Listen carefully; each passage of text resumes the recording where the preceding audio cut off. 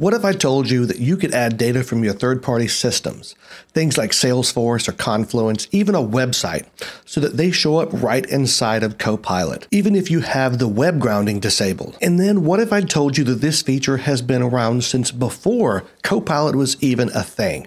Sound interesting? I'm going to tell you all about graph connectors and walk you through how to set this whole thing up. So let's get into it. So, some basics here. What is a graph connector? First, we need to talk about graph to make sure you understand what that is.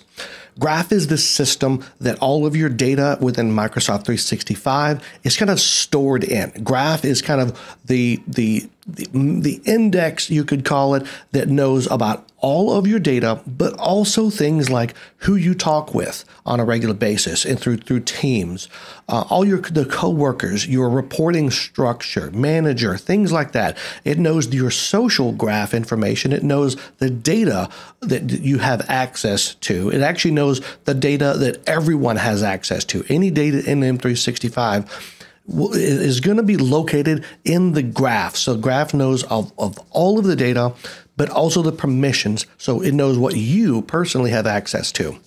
This is how the Microsoft search bar has always worked. And M365 Copilot is also using graph as a data source. Even though it uses a, the semantic index instead of the graph directly, it knows about all of the data in your organization because of graph. Now, a graph connector is a way to take external data and put it into graph.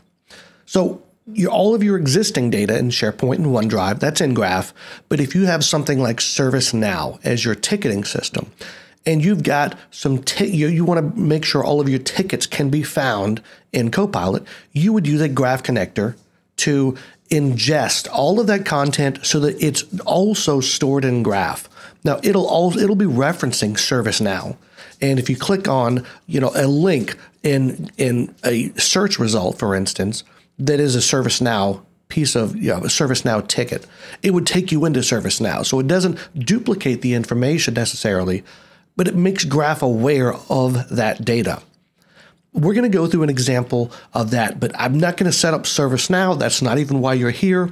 But I'm going to start with a simpler example of a basic website. And we're going to use my website as an example. So I'm in the M365 Admin Center right now because you will need to be an admin to set up a graph connector. And in the M365 Admin Center, under settings, you'll see search and intelligence. This is where we're going to be going to access, to be able to create a new graph connector. And this can, by the way, involve some custom coding, but for a lot of the common use cases, it's going to be a much simpler process, as you'll see. But we're going to go into the data sources tab. This is where all of your existing graph connectors are listed. Any any other system that is being uh, synced to graph to to make graph aware of that content, yeah, it will be here. I have nothing set up right now, so I'm going to click on Add Connection. I'm going to create a new data source that will be loaded into Graph. You'll see all of those different ones. You'll see WordPress.org. You'll see Salesforce, Confluence, all a lot of those big enterprise systems you will see in here. Uh, Trello boards, uh, Azure DevOps, uh, Azure SQL. There's a there's a lot in here, as well as more common things like maybe uh, Google Drive. You'll see these are in preview right now. So there's a lot of connectors that are continuing to get added here we're going to use the Enterprise Website Cloud. This is just the generic website connector. So I'm going to click on that and click Next. I'm just going to call mine uh, stevecorey.com as the display name. Now users will see this in the in the context or the references of uh, of the Copilot responses that use these articles. Type in the website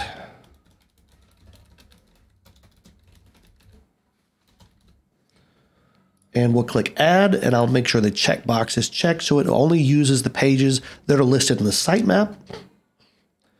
The authentication type, if that rep, if the website requires to be authenticated to to access it, more common with the enterprise uh, scenarios like ServiceNow or something, then you would specify that. In this case, there's no authentication, it's a public website. Uh, now, you could limit the rollout to a particular audience. This could be useful for an, a couple of different situations. Number one, the content only should be seen by a particular group. Maybe it's the, the group that has access to that resource. Or the other one is maybe you want this to roll out to a pilot group first before rolling it out to the uh, the, the, broad audience of your organization. Either one of those are, are common scenarios. In this case, I'm just going to roll it out to everyone you click the checkbox just just to confirm you are aware that Microsoft's going to be creating a connection to uh, another data source and ingesting that content into Graph. And then we click on Create.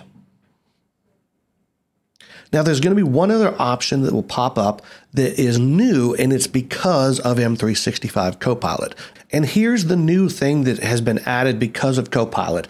This is the, the information that Copilot will use uh, to understand when to use this particular content. So this is how you're going to tell Copilot what this data is for.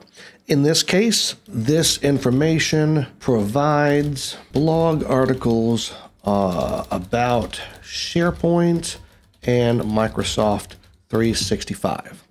So this will give it the context to know when when this what this connector is used for, and then based on a user's prompt, it will uh, select this as part of the grounding to return responses with. We'll click on save. And now it's, you see the, uh, towards the top here, it is now syncing the data. So it's going to take a little while. If we click done here, we'll see our new connector has been added and the connection state is preparing to sync. So this is going to take a little bit of time, in my case, maybe 10 to 15 minutes, and we'll come back when this is done and check out the results. So now our new graph connector has finished. Uh, it, the connection state is ready. So this is ready to be used by end users. Let's go jump to Copilot and see how this looks. So I'm in M365 Copilot. I've got it set to use the Work tab, so it's only going to be grounding on organization data. In addition, I have the web grounding disabled. Let's add in a prompt and see if this is going to return our correct data. I'll put in a prompt. How do I get started with JSON formatting in SharePoint Online? Definitely something I've covered on my blog a number of times. So let's see what the response is from Copilot. So it's I already see a citation. Uh, it's referencing me. I believe it's got the correct information. Uh, we could check our references down here, and we'll see that this it pulled from the beginner's guide to mastering list JSON formatting in SharePoint, one of my most popular articles. And you'll know it's using our graph connector and not the public web because of the source you see down here. It says stevecorey.com. It's used two different pages from my blog and then an email, which I'm not even sure what that was about, but it was probably some correspondence with one of you. So it, it did return our information from the graph connector. Remember, this can work even if you have web grounding disabled, which I do on my tenant. Uh, just to test out scenarios like this. I can always hop over to web mode if I need to do it that way. But there you have it. You've got a custom graph connector pulling from an internet web source, and then Copilot is using that as a grounding source. Now, there's a lot of other things that you could do with these graph connectors. We can click on the connector to get more information about this. We can check any crawl information, how often it's going to be crawling, because this will continue to update based on new blog posts I put out, or in the case of an enterprise system like Confluence, if you're pulling in knowledge base articles, uh, as new ones are published, the graph connector will routinely grab those and update uh, graph so that it knows about the latest content. There are some options for editing the schema and what sort of information can can be used to query and all that. That's getting a bit more advanced than what I want to cover in this video. But let me know down in the comments below if you're interested in learning more about these and seeing other examples, because this will benefit Copilot, but it also benefits the Microsoft search bar at the top of pretty much everything in M365. Because since that uses Graph as well, this data can be returned in the Microsoft search bar. So it kind of serves as double duty there. Uh, and, and, so you can get a lot of benefit even if you don't have M365 Copilot licenses. Let me know what you think of this. Is this cool? I think it's pretty cool. And a lot of people have no idea that it's even an option. within their within their environment. Let me know down below, and if you want to see more great videos, then click or tap the screen, and I'll see you over there.